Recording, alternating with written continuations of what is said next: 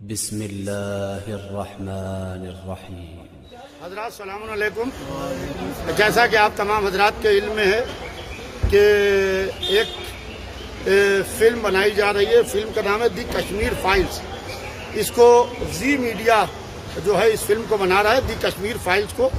और उसके अंदर बाकायदा उन्होंने आतंकवाद को दिखाया है। और उसमें उन्होंने आयतुल्ला रूहुल्ला खुमानी साहब की तस्वीर को ख़ास तौर से लगाया है। और उन्हीं ने तस्वीर को लगा के ये दिखाया है कि जैसे कि ये सब आतंकवादी लोग हैं और जो खुमानी साहब की तस्वीर लगाई गई है, ये जानबूझ के प्लानिंग के तहत काम किया गया है।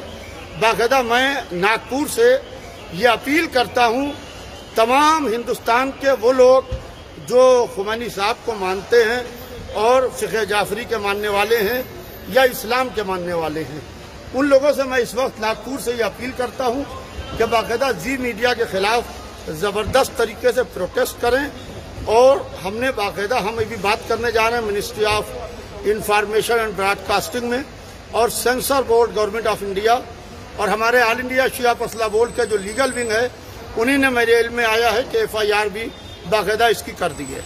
आप जहाँ जहाँ पर हों, इसके खिलाफ एफ़ आई आर करें। कभी आज़ादारी को टारगेट किया जाता है, कभी अलम को टारगेट किया जाता है कभी जंजीर के मातम को टारगेट किया जाता है, कभी मुकदस नामों को टारगेट किया जाता है, कभी हमारे महाराजा किराम के नामों को टारगेट किया जाता है।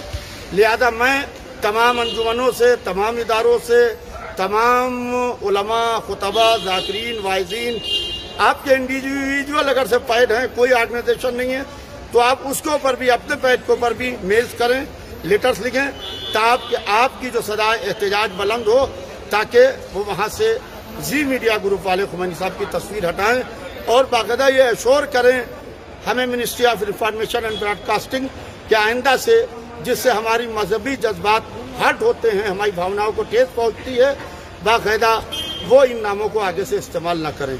बहुत बहुत शुक्रिया।